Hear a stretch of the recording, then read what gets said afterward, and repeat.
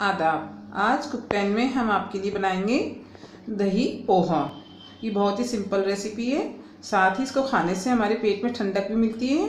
अगर आपको हमारी रेसिपी पसंद आए तो प्लीज़ लाइक कीजिए, शेयर कीजिए और हमारा चैनल कुक टैन को ज़रूर सब्सक्राइब कीजिए।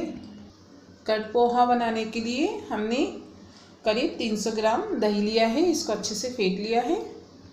एक कटोरी पोहा लिया है। इसको हमने अच्छे से वॉश करके इसका पानी पूरा निकाल दिया है। थोड़ी हरी मिर्च ली है, इसको हमने बारीक काट लिया है। एक छोटा प्याज लिया है, इसको भी हमने बारीक काट लिया है। थोड़े टमाटर लिए हैं, इसको भी हमने बारीक काट लिया है।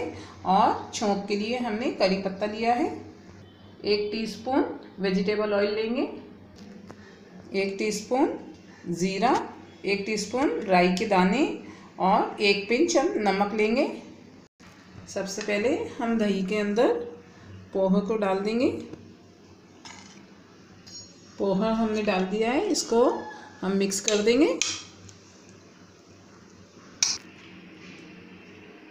पोहे को हमने मिक्स कर दिया है। यह हम इसमें प्याज, थोड़े टमाटर और हरी मिर्च डाल देंगे और थोड़ा नमक भी डाल देंगे।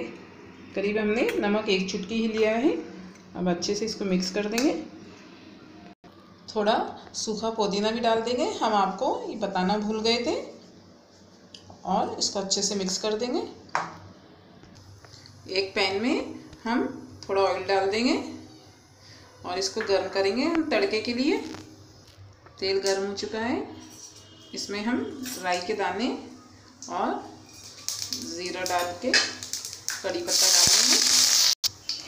अभी इस छोंक को हम दही पोहे पे सर्व कर देंगे, थोड़ा ऊपर से डाल देंगे इसको। छोंक हमने लगा दिया है। लीजिए, आपके लिए कड़ पोहा बन के तैयार है। ये हमारे पेट को बहुत ही ठंडक देता है। आप ज़रूर ट्राई कीजिए और बहुत ही जल्दी बनने वाली रेसिपी है। अगर आपको हमारी रेसिपी पसंद आए तो प्लीज़ लाइक कीजिए शेयर कीजिए और हमारा चैनल कुक टैंक को ज़रूर सब्सक्राइब कीजिए। साथ में अपने कमेंट्स भी दीजिए। अल्लाह हाफिज़।